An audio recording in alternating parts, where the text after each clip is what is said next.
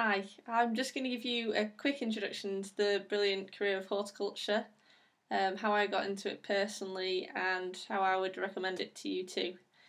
Um, firstly, I suppose I got into horticulture a long time ago. I, I'm lucky enough to grow up on a small holding uh, where we've always grown our own vegetables and fruit, and we have a small woodland and wild meadow area.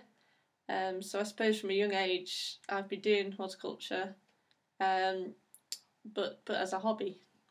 Um, from there on, I've uh, I studied biology at the university, um, because of my interest in the environment and living things and the natural world.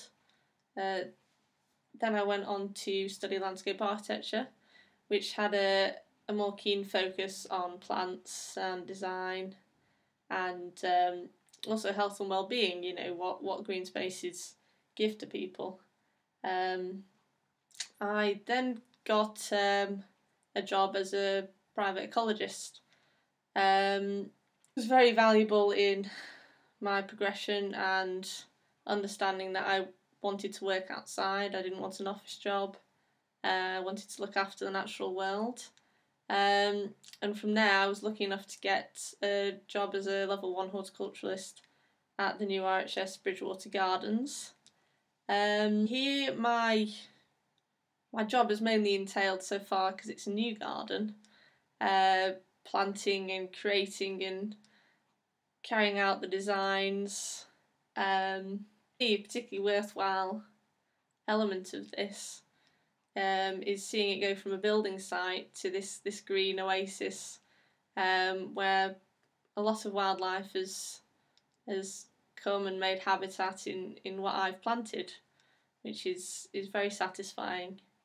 Um, for me, every day is different, whether it be being in a different area of the garden, looking at different plants, um, finding new habitats.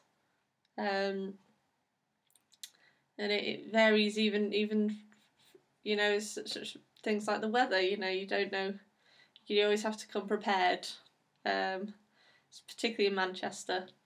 Um, satisfying uh, at the end of the day having something tangible and physical to look back on the, the difference I've made during the day.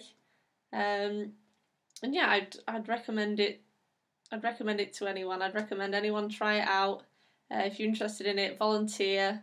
Uh, there are plenty of good apprenticeships out there, and uh, and yeah, get get stuck in. Thank you very much.